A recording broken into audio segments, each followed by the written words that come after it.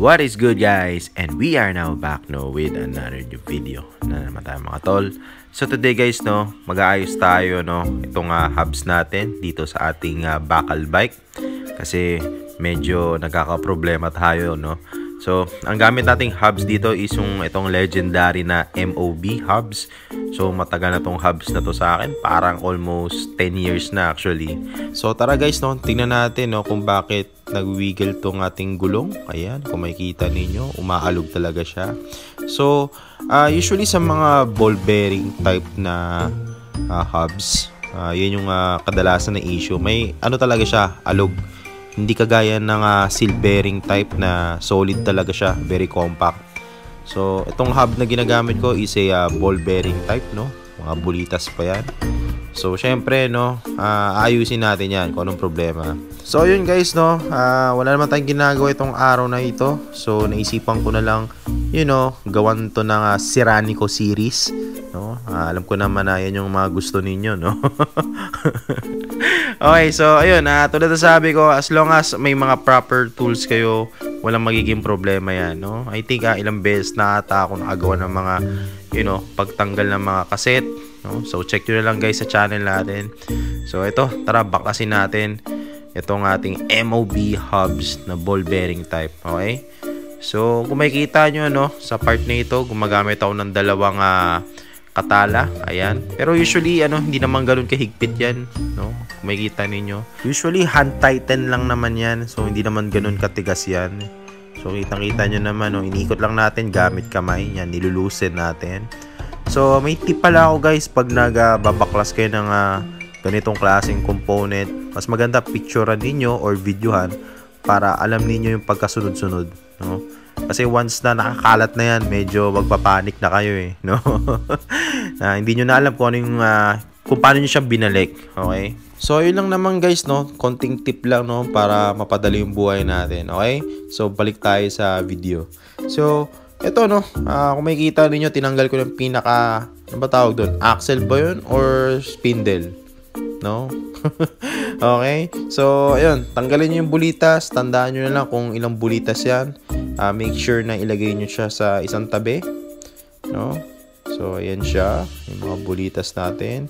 So check nyo na rin guys kung okay pa yung mga bulitas ninyo kung medyo kalawang na uh, palitan nyo na lang. May mga nabibili naman yan sa mga online shop or sa mga, mga local shop ninyo okay? Tapos ayan.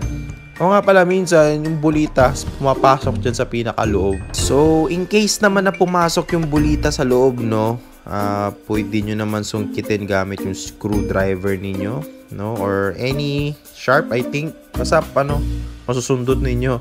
Okay? So bago natin simulan din lahat no? Uh, syempre linisan muna natin yung mga tinanggal natin. Itong uh, spindle lahat pati yung pinakaloob okay?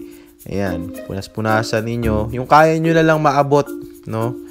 So o nga pala sinusubukan ko palang uh, hugutin tong uh, free hub body hindi ko alam paano eh actually. Napansin ko nga pala guys no, uh, ito nga free hub na ito, kailangan ng uh, special tool no kasi may parang uh, special nut siya sa may mismong uh, free hub body kaya hindi natin siya mahugot.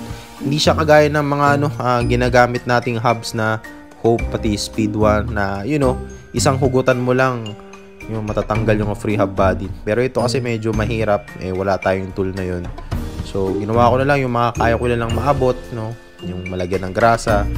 Yun, yun na lang yung gagawin natin, okay? Tapos ayun, uh, huwag nyo kalimutan linisin din syempre yung bulitas. And ayan, uh, preparation tayo, no?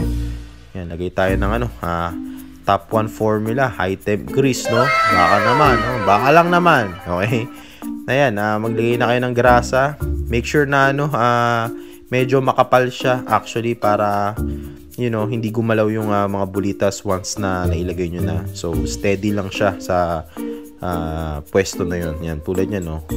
Parang naglalaro lang ako ng hole. Ayan.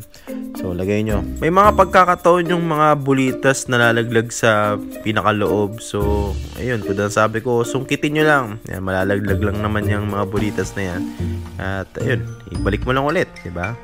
So, basta maganda yung ano, yung paglagay ng grasa ninyo, medyo makapal para steady lang. At ito naman, no, sa may uh, free hub side.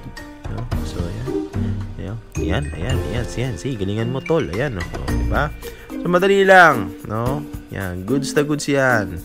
No? Tapos ibalik mo na yung mga metal seal, no? Tapos yung uh, kung paano mo siya binaklas, no? Dun sa may kabila, ayan, sinisilip-silip ko, no? Tinitignan ko kung babalik pa siya, pero mukhang hindi na. okay. Tapos ayan, eh, balik mo na yung ano, spindle. Ayan, no? Ayan, di ba? Goods na goods yan. No? Tapos ibalik mo ulit yung mga seal. Ayan, para steady siya. Para hindi gumalaw. No?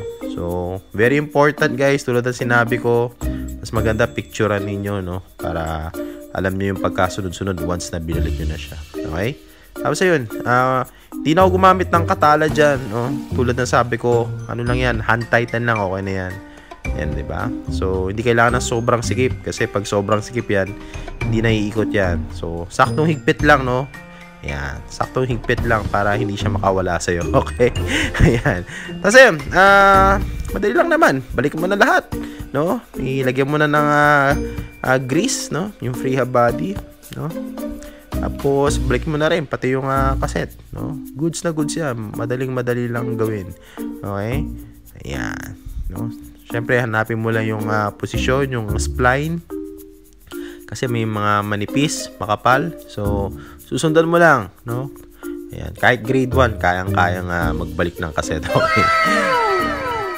Sobrang solid, no? Yan, ganito lang mga galawan natin dito, no? Mga Siranico series, no? Siyempre, pag may nasira tayo, problema nyo na yun, no? okay, kasi probably baka hindi nyo nasundan ng maayos yung video. Okay, so ayan, uh, balik tayo dito. Kabit lang natin, no? Yes, Tapos konting uh, light grease lang dyan sa may uh, ating uh, quick release, no? Ayan. So, goods na goods, no? Madali madali lang, no?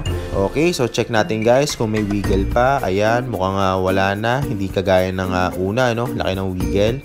No? Ayan siya. So, probably guys, no, kung may wiggle pa rin yung gulong ninyo, uh, I think kailangan nyo nang palitan yung uh, bearing ng uh, hubs ninyo. Or yung last part, no, masyadong maluwag. So, tulad ng sabi ko, dapat ano lang, uh, saktong-saktong higpit lang. Okay? Para hindi siya makawala sa'yo. So, I think guys, uh, dito na rin natin tatapusin video natin for today. So, maraming salamat guys pa nanood. At kung hindi pa po na-subscribe, make sure na i-subscribe mo na yan. And also, click nyo na po notification bell para updated din guys sa ating next video.